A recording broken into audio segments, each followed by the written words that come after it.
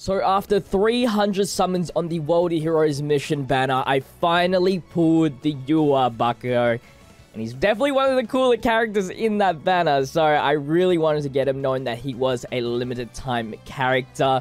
I do not ever want to be shafted like that ever again. I feel bad for anybody that had to go all the way to pity to even pull one character. Like if you never pulled any of them, I understand your pain now. Because I was really lucky at the start when I pulled, like, the Deku and the Todoroki instantly. But then Bakugo was just, like, the bane of my existence. But uh, we're here. I've got him awakened. This is his awakened art. And then this is uh, his pre-awakened art. You've probably seen it from my channel quite a lot. I really like the uh, aesthetics of the character. It's just that it doesn't translate well on the actual 3D model, unfortunately, because they forget the freaking eye mask. Can somebody in Japan like force them to like put the eye mask on. Because like that's the most important part. It looks like it becomes a Ninja Turtle like that.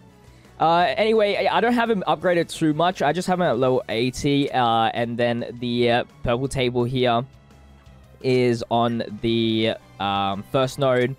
Uh, green table, basic table is on the sixth done. Don't think I'm going to upgrade him any further. Uh, but uh, let's look at his kit really quickly. So he's plus ultra skill is inflicts 650% damage to an enemy, deal an additional 35% damage if the enemy has a crit rate debuff.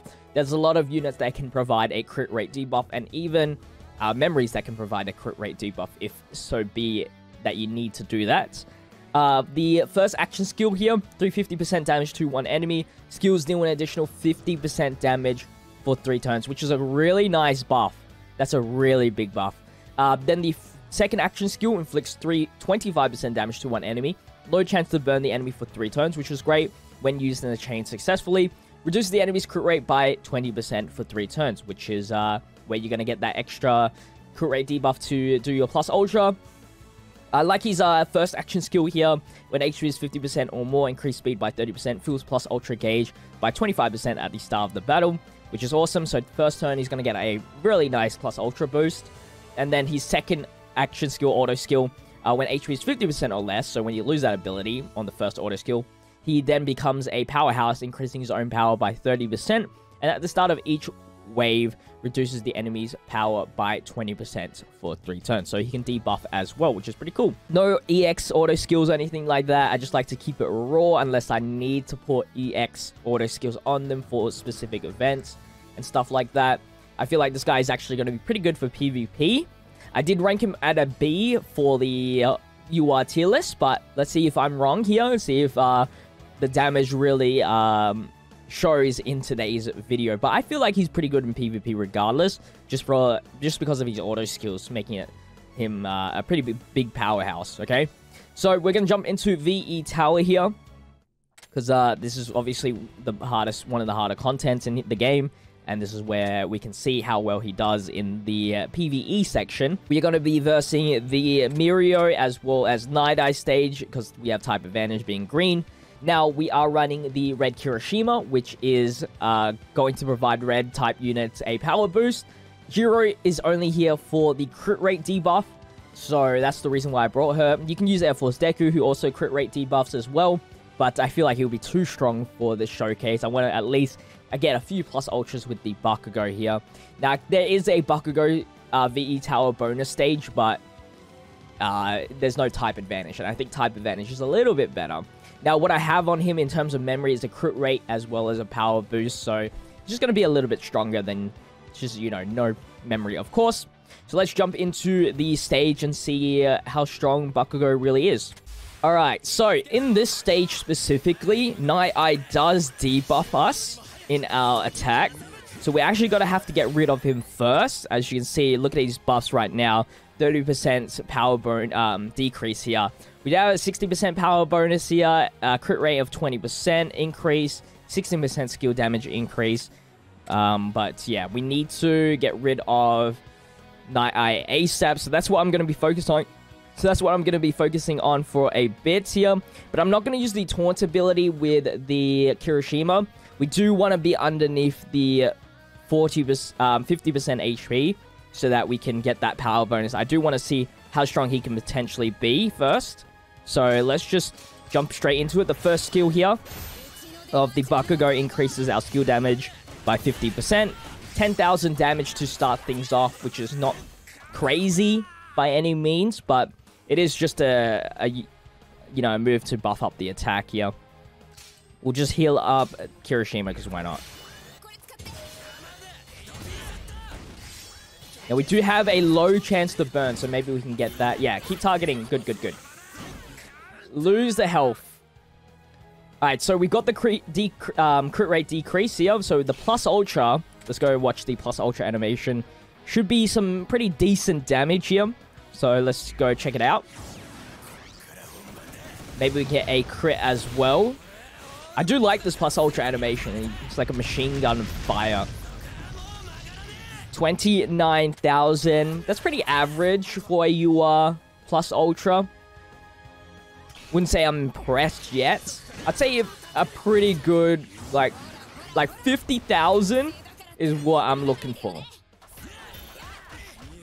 Now, obviously, it's not his fault. It's Night Eye's fault for debuffing.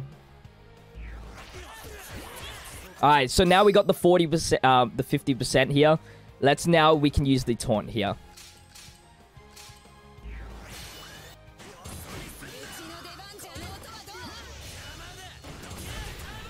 Twelve thousand.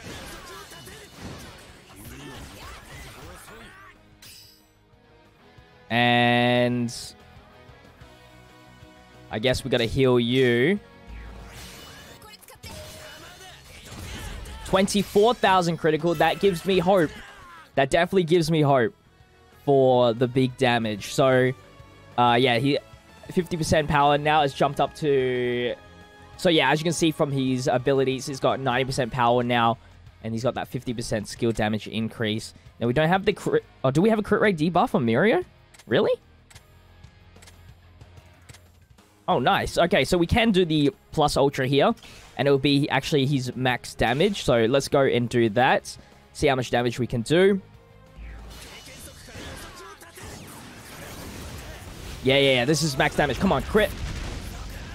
43,000 non-critical. That's easy, like 50k. Yeah, that's easy, 50k. See if we can get another shot. Mirio definitely has a lot of health here.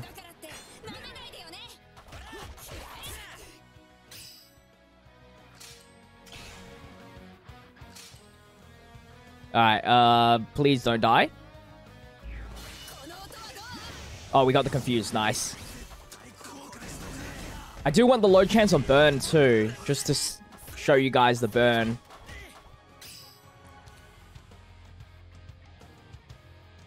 Uh, we'll go like this. So far, so good.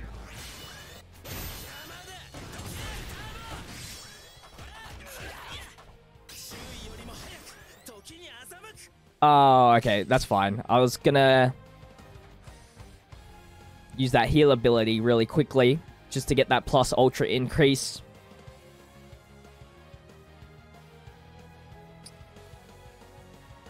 But we got a taunt here because he's got the plus ultra going. Burn? No burn. We're invincible, so Red Riot does not die there. But Please don't kill my boy. We're gonna heal. Bakugo.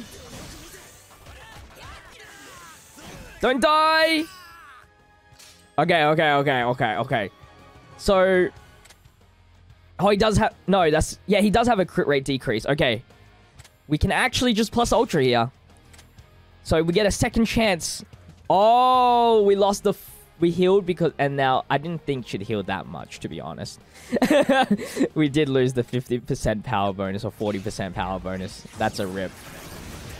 So yeah, you do have to stay underneath. It doesn't just stay there permanently. Alright, but we didn't get the crit either way, so it didn't really matter too much. That's pretty much uh, the Bakugo. I think he's a solid powerhouse, especially at level 80. He's definitely not the strongest unit in the game. I don't still find there's not really much value on him in VE Tower, as uh, he doesn't really provide too much points, just because the only like abnormal condition that he provides is uh, the burn, which is a very low chance, and there's not much like debuffs that he can do, so that's not going to help at all. I pretty much I think he's more catered for that PvP. So when PvP does come out, I'll test him out then and see if my vision of him has changed. But uh, anyway, that's going to wrap up today's video. If you guys did enjoy today's video, make sure to leave a like, comment, and subscribe to the channel with the notification bell on so you don't miss out on the daily content. But with that said, I'll see you guys in the next video. Until then, stay healthy, stay safe, stay fizzy. Peace out.